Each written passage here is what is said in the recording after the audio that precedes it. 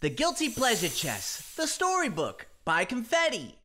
Chapter 2 Guilty Pleasures. Fetti and Conrad smiled big as can be, with their Discman in hand, playing their newly purchased CDs. NSYNC, Jay Z, and Rage Against the Machine. They just couldn't choose one, so they picked up all three. From Bye Bye Bye to Testify, H to the Izzo, and Big Pimpin', these three artists just couldn't be any more different. When the brothers got home, they were screaming the lyrics on tables and chairs, but their parents didn't want to hear it. Father Twinkles and Mother were frankly disgusted. They took their CDs and grounded them busted. They said, Go to your room with this Louis and Coltrane. Listen to music with purpose and meaning. This filth of which you boys know nothing about simply will never belong in this house.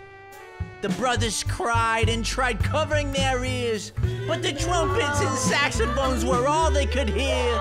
After what felt like weeks, the brothers started feeling the beat. The rhythm, the melodies had them smiling cheek to cheek. The brothers were startled by a knock at the door.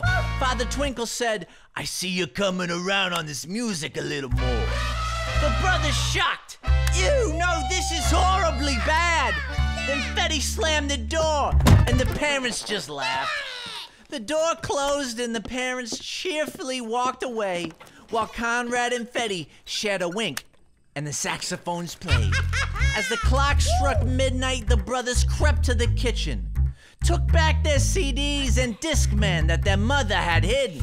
They brought them to the attic to put in the chest and combine all the music that had them obsessed.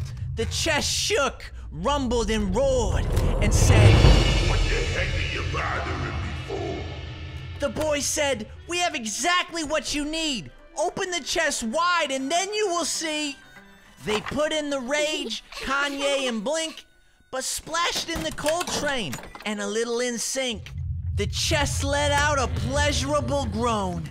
That's what I'm talking about. I'm really digging these toads.